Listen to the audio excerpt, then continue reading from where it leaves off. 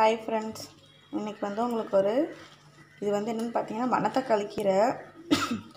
மணத்தக்காளி கீரை வச்சு ஒரு மணத்தக்காளி ஒரு சாறு தான் பண்ண போகிறேன் இது ரொம்ப வந்து உடம்புக்கு ரொம்ப நல்லது. வயிறு புண்ணெல்லாம் இருக்கும்ல அதெல்லாம் இது வந்து சரி செஞ்சிடும் இது நிறைய மருத்துவ குணம் இருக்குது அதனால் நீங்கள் வந்து வாரத்தில் ரெண்டு தடவை வச்சு சாப்பிடுங்க. ரொம்ப நல்லது உடம்புக்கு. மோஸ்ட்லி நிறைய வீட்டில் நிறையா இருக்கும். எல்லார் வீட்லேயுமே இருக்கும். அதனால் இதை வந்து கிடச்சது நீங்கள் விட்டுறாதீங்க. இதை பறித்து நீங்கள் எடுத்துகிட்டு வந்து தண்ணி சாறு வச்சு சாப்பிடுங்க. ரொம்ப டேஸ்ட்டாக இருக்கும். இது வாங்க எப்படி பண்ணலான்னு பார்க்கலாம். இதுக்கு வந்து நான் ஒரு கட்டு அளவுக்கு மணத்தக்காளி கீரை நல்லா க்ளீன் பண்ணி வச்சுருக்கேன் தண்ணியில் போட்டு. அதுக்கப்புறம் ரொம்ப சிம்பிள் தான் இது பண்ணுறது அதுக்கப்புறம் ஒரே ஒரு வெங்காயம். அப்புறம் சீரகம் மிளகு அதுக்கப்புறம் கடுகு. நீ ரொம்ப சிம்பிளாக பண்ணிடலாம். டக்குன்னு ஒரு சாப்பாடு பண்ணணுன்னா பண்ணிடலாம். எப்படி பண்ணலான்னு பார்க்கலாம். இப்போ வந்து ஒரு கடாயில் வந்து கொஞ்சமாக எண்ணெய் விட்டுருக்கேன். இதில் வந்து நம்ம கடுகு விட்டுடலாம் நீங்கள் தாளிப்புக்கு வந்து நீங்கள் என்ன வேணால் போட்டுக்கலாம். காஞ்ச மிளகா கூட போட்டு தாளிச்சிக்கலாம் நல்லா தான் இருக்கும். நான் காஞ்ச மிளகா போடல. அதுக்கு பதில் மிளகு தான் யூஸ் பண்ண போகிறேன் ஸோ நல்லா கடுகு வெடிக்கட்டும். ரொம்ப குயிக்காக பண்ணிடலாம் அந்த சா தண்ணி சாறு. கோவையில் வச்சுக்கும் கூட பண்ணுவாங்க. நான் வந்து மணத்தக்காளி கீரை வச்சு பண்ணிகிட்ருக்கேன் இப்போ வந்து வெங்காயம் போட்டுடலாம்.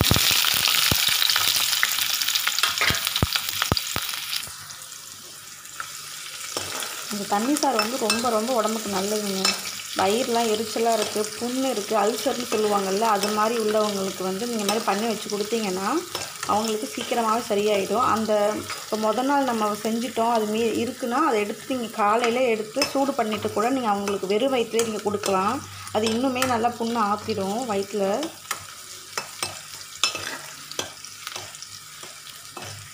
தேங்காய் பால் ஊற்றிட்டிங்கன்னா நீங்கள் மறுநாள் எடுத்து வைக்காதீங்க சாப்பிடாதீங்க.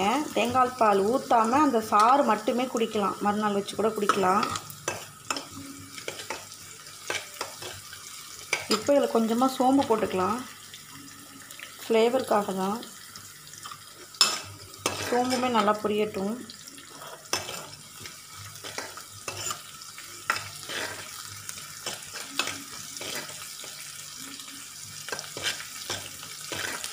இதுக்கு எதுவுமே தேவையில்லைங்க. ரொம்ப சிம்பிளாக பண்ணிடலாம்.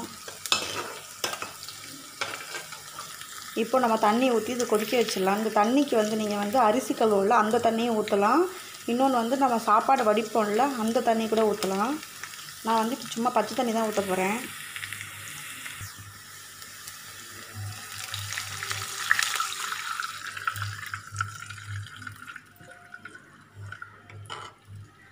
இப்போ நம்ம இது மேலேயே நம்ம வந்து கீரையை போட்டுடலாம்.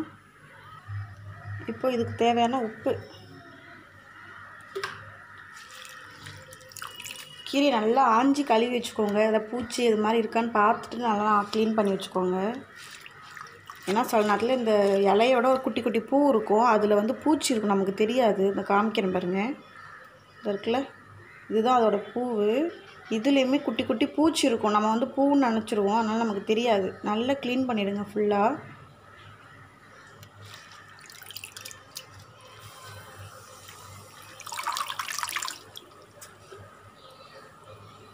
இது நல்லா கொதிக்கட்டும். இப்போ நம்ம மூடி போட்டு மூடிடலாம். இப்போ வந்து நம்ம தேங்காய் அரைச்சிட்டு வந்துடலாம். இதுக்கு வந்து கொஞ்சம் தேங்காய் வந்து கீந்தி வச்சுருக்கேன். இதில் வந்து கொஞ்சம் சீரகம் போட்டுக்கோங்க. சீரகம் நிறையவே போட்டுக்கோங்க. நல்லது தான் உடம்புக்கு. அது மாதிரி காரத்துக்கு வந்து மிளகு தான் நிறையவே மிளகு காரத்துக்கு ஏற்ற மாதிரி போட்டுக்கோங்க. இது நம்ம ஃபுல்லாக இப்போ போயிட்டு அரைச்சிட்டு வந்துடலாம். இப்போ பார்த்தீங்கன்னா கீரை நல்லா கொதிச்சிட்ருக்கு. கீரை நல்லா வேகட்டும். ஒரு நாள் நல்லா வெந்துருச்சு பாருங்கள் நான் வந்து தேங்காய் பேஸ்ட்டும் அரைச்சிட்டு வந்துட்டேன். பாருங்கள்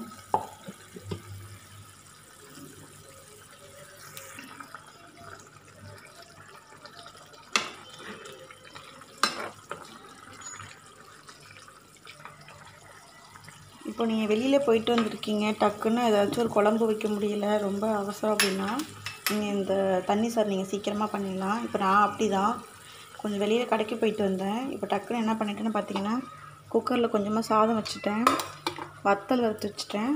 டக்குன்னு இது வந்து தண்ணி சாறு வச்சு வச்சுட்டேன். அவ்வளோதான் இப்போ வந்து நல்லா கொதிச்சிருச்சு. நம்ம வந்து இந்த தேங்காய் பேஸ்ட்டை போட்டுடலாம்.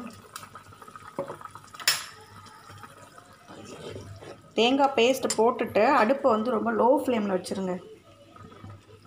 ஏன்னா இது வந்து கொஞ்சம் திரிஞ்ச மாதிரி போயிடும் டக்குன்னு கொதிக்கும் போது அதனால லோ ஃப்ளேமில் வச்சுட்டிங்கன்னா கரெக்டாகிடும்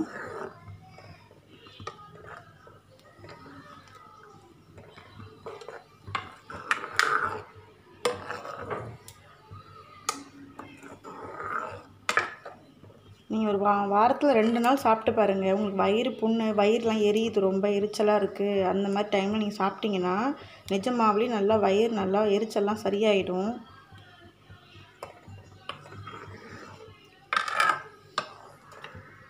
சில பேர் சாப்பிடாம அவசரத்தில் காலையிலே கிளம்பி வேலைக்கு போயிடுவாங்க. அவங்கெல்லாம் வந்து பார்த்திங்கன்னா அப்படியே கொஞ்ச நாள் ஆகிட்டுனா அல்சர் மாதிரி ஃபார்ம் ஆகிடும் வயிற்றுல இப்போ அவங்களுக்கு இந்த மாதிரி செஞ்சு கொடுத்தீங்கன்னா கொஞ்சம் நல்லாயிருக்கும்